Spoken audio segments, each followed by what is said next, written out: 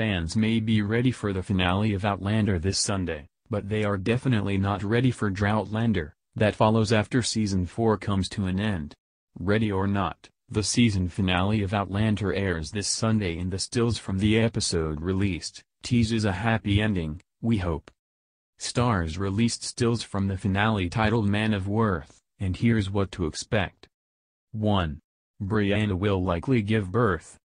Heavily pregnant Brianna Fraser is attended by Phaedre she lies in bed. Though the picture does not confirm she will give birth, the promo trailer does, to an extent, where she is seen running towards someone in River Run, looking rather, um, not pregnant. Considering this still with the trailer, it's a possibility the baby is born. 2.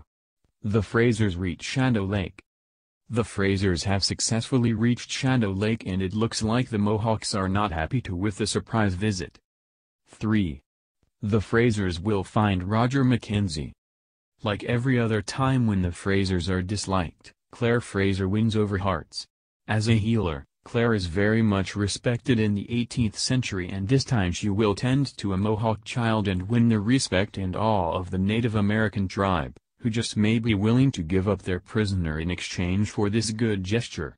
Thank God Roger did not leave Shadow Lake last episode. 4.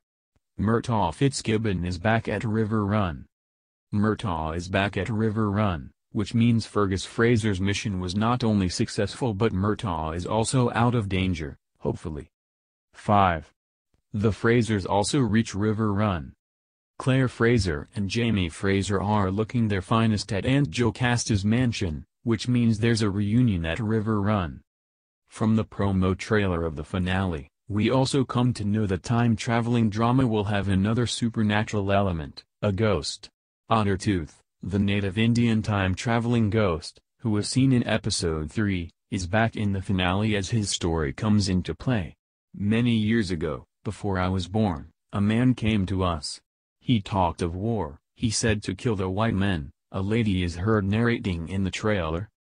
Even though his backstory sounds like he was all about killing white men, the ghost we met in episode 3 this season, turned out to be a friendly one, since it led the lost Claire to find Jamie in the woods the next day.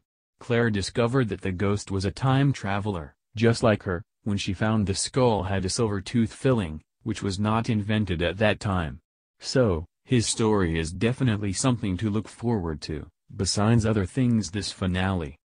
Man of Worth, will be an 80-minute episode, unlike the regular 60-minute episodes and will air January 27, on Starz.